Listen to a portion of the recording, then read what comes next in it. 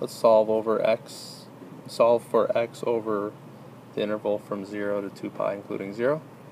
For this problem, it looks really complicated, but if you look carefully, those two terms have a cosine 3x.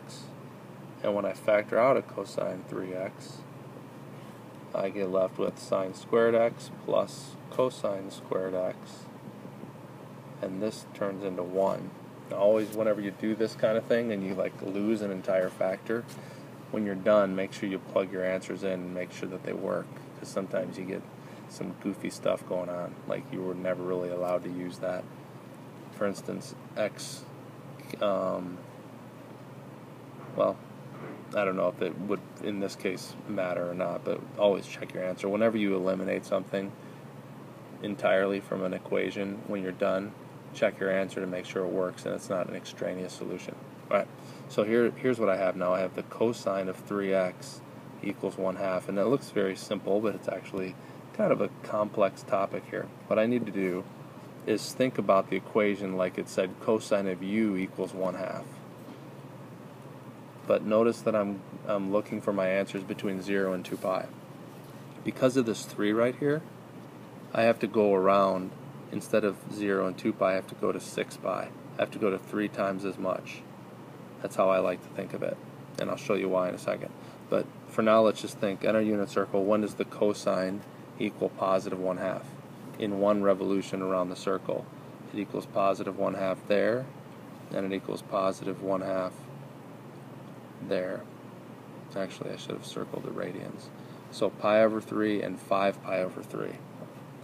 So u equals pi over 3, 5 pi over 3, but now add 2 pi to both of these, and then add 4 pi to both of them. That's three times around the unit circle. Why am I doing that? You're going to see in just a second. When I replace, what did u really, what did I substitute u for? 3x. When I replace 3x for u, what happens? What's what does pi over 3 become? It's not pi over 3 anymore. Now it's what? Pi over pi over 9. 9, right. Pi over 9. So what in other words, pi over 3 was what was what u equaled, but what did x really equal? It equals pi over 9. And where's pi over 9 at? It's right here. So I'm barely started. What happens when I divide this by 3? I get I get 5 pi over 9. And then I get, remember, what's 2 pi? That's like that's like um, 6 pi over 3. So this becomes 7 pi over 9 because when I add 2 pi to 1 pi over 3, I get 5 pi over 3. When I add 2 pi to 5 pi over 3, that's 6 pi over 3 plus 5 pi over 3, I get 11 pi over 3. But now it's 11 pi over 9. Where's 11 pi over 9? It's barely over 9 pi over 9. You see what I'm saying? So you've got you're going around the circle a lot slower because of this 3 right here. Remember what that yeah. 3 does? It shrinks your graph. So your graph let's let's look at your sine graph. Your sine graph normally goes like this. That's what it normally goes in 2 pi. That's one full revolution.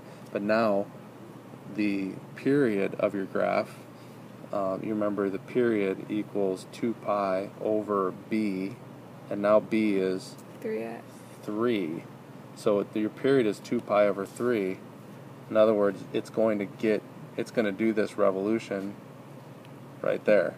And then it's going to do another one right there, and then it's going to do another one right there. So it's going to go three times between 0 and 2 pi, it's going to make three full revolutions. Is that you tracking with that? And that's the reason that you're doing this. That's the reason when you see a 3 there, you go around the instead of thinking of going around the circle once, you think of it about it going around the circle three times. Because you're because when you divide out that 3, it's going to still give you a, a number that's in this range that they're looking for. Yeah. So what's 4 pi? 4 pi is 12 pi over 3. So add 12 pi over 3 and 1 pi over 3, you get 13, 13. pi over 3. And, and 12 pi over 3 plus 5 pi over 3 is, sorry, oh, not over 3, now it's over 9, right? 17, 17 pi pi. over 9. 17 pi over 9 is still smaller than 2 pi. 2 pi is 18 pi over 9. Yeah. So all six of these are still within your your sorry your range that they were looking for your domain in this case actually. okay. Yeah. They're, I shouldn't use the word range.